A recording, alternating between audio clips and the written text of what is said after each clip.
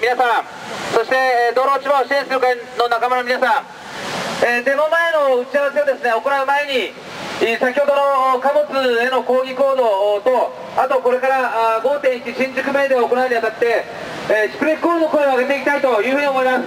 えー一旦あの立ち上がれる方は立ち上がっていただいて、えーシュプレッコールの声を上げていきたいというふうに思います。よろしくお願いします。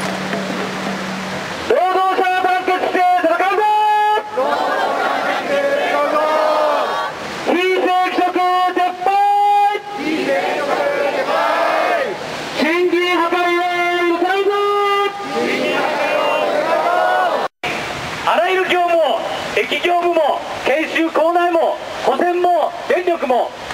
新通も全部そういうところに丸丸投げして JR は金儲けをしようとしています。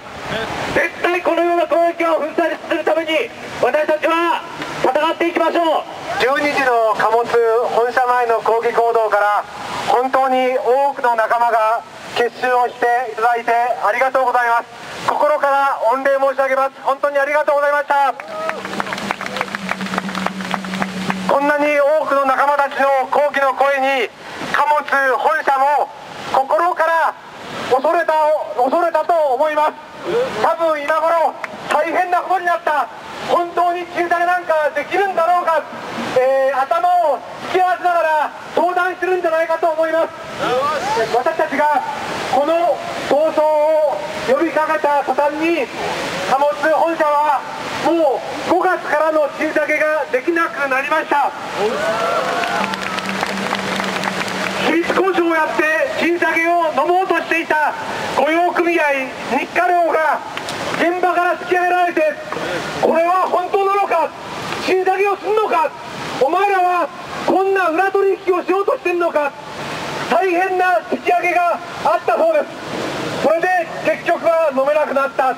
今のそれが現状です。僕らは勝利をしています。私たちが今日のメーデー行動を呼びかけたのは今安倍政権がやろうとしていることを本当に許せないと思ってからです。ふざけています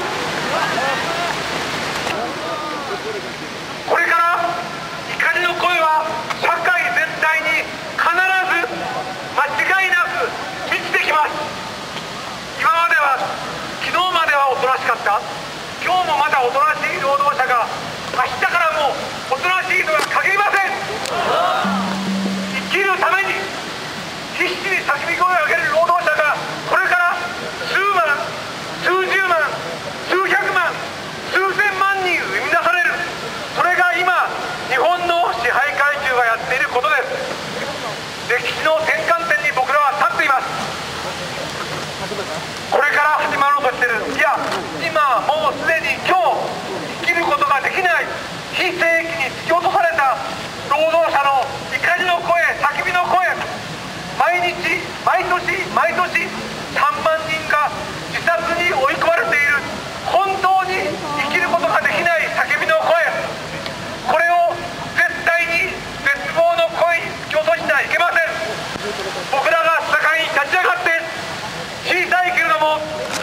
ここに団結をすれば労働者自身の中にこの社会を変える力があるんだということを示すことこれが示すことができればそしてこの僕らの怒りの声と団結した力に膨大な怒りの声が結びついたら必ず歴史が動きます必ず社会は動き出しますなぜならもう我慢ができなくなってるからです社会の在り方が腐り果てている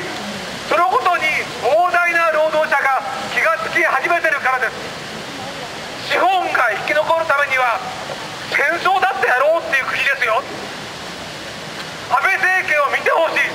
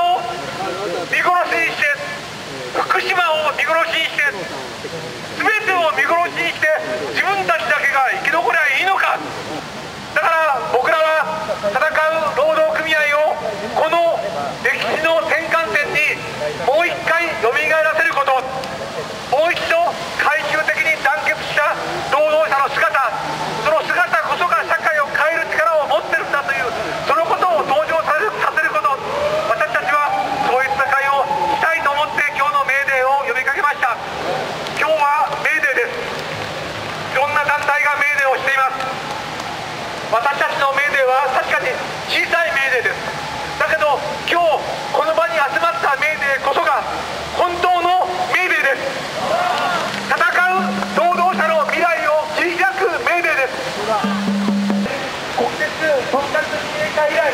二十数年間の